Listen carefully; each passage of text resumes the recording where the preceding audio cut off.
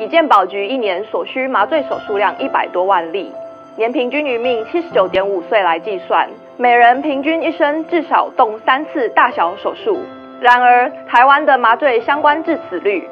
却比美、英、日等国家都高。台湾新创公司裕信医疗科技，那个我听说麻醉手术风险很高，是吗？我们麻醉手术采用的是静脉注射的方式，凡麻醉一定都有风险。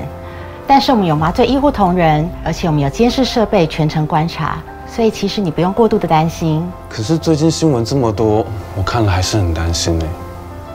别担心，我们有预性 Air Mode。手术当中，因为麻醉深度过深，导致于呼吸道无法有效建立，会导致血中氧气浓度的下降，产生呼吸道窘迫的危险。预性 Air Mode 提供全程及时的监视，搭配数周麻醉医师的判断，能够大大降低意外发生的风险，为麻醉安全把关。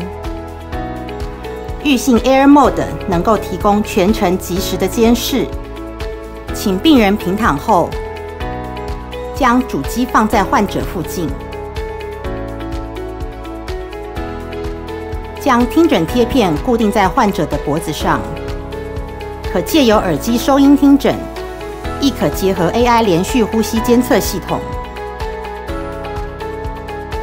AI 连续呼吸监测系统可及时播放呼吸音，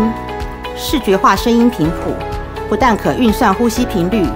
而且可抗噪、可辨识。使用本产品作为辅助，对病人安全的提升及手术风险的下降，都是莫大的帮助。让外科医师能够安心的开刀，以及病人能够舒适安全的醒来，是麻醉医师天赋的使命，也是最重要的事情。